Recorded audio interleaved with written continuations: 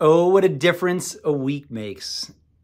The end of last week, rates were approaching uh, the highest levels of the year, the highest we'd seen since last October. But today, uh, we have rates trading back in a more respectable range. Uh, the 10 year Treasury has come down quite a bit. All of this is due to the consumer price index. So uh, the CPI number came out on Wednesday, and uh, the headline number, the core number, both of those uh, were less than expectations, just didn't meet expectations, but were less than expectations. Took a little bit of fear out of the market.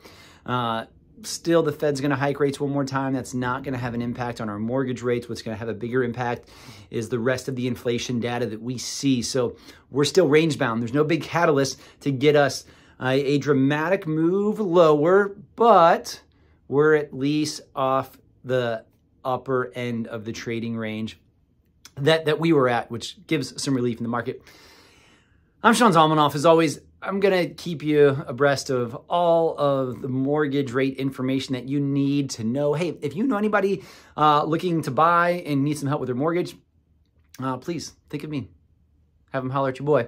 And uh, I'll keep you abreast of what's going on with uh, any rate changes, any rate movements, and when it's time for you to refinance as well too. Peace out, friends.